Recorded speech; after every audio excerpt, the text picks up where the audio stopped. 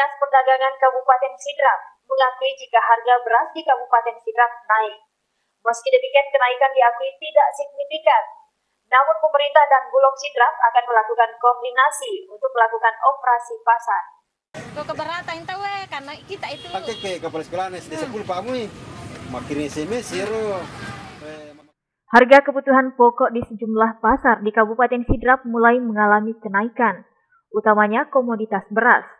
Padahal Kabupaten Sidrap merupakan daerah yang dikenal sebagai lumbung beras nasional. Kenaikan harga beras tersebut terjadi hingga mencapai 5 persen, seperti yang terjadi di Pasar Sentral Rapang, Kecamatan Pancarjang, Kabupaten Sidrap ini. Beras yang semula dijual dengan harga Rp7.000 per kilogram, kini dibanderol dengan harga Rp8.000 untuk kualitas beras lokal. Sedangkan untuk beras kepala yang semula diecer dengan harga Rp8.500 per kilogram, kini dibanderol dengan harga Rp10.500 per kilogram.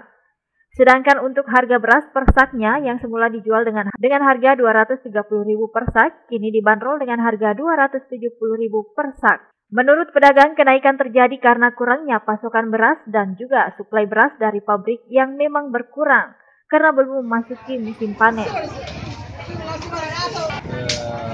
Ya, pokoknya melonjak harganya sampai 8.000 per liter.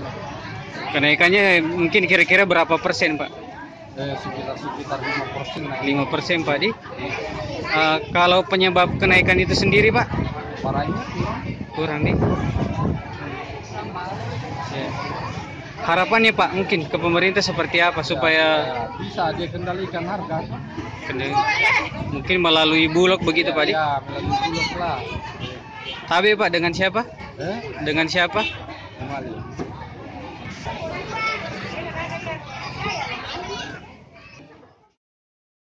Haja Jamani salah satu pembeli berharap harga beras segera dapat kembali stabil dikarenakan sangat memberatkan masyarakat.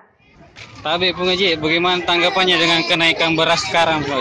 Tanggapannya? Iya, mindre warna ya mata tadi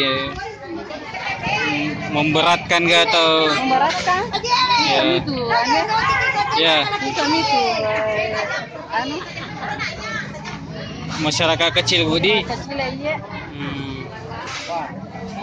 Harapannya Bu, biar matu ke piko di di noi warna yang aku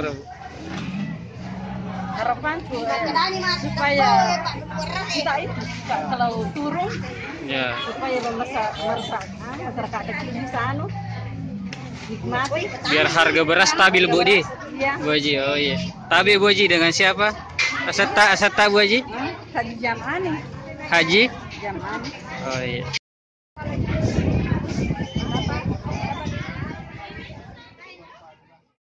Jamani berharap pemerintah dapat turun tangan untuk menstabilkan harga beras dan menyediakan pasokan beras yang ada di pasaran.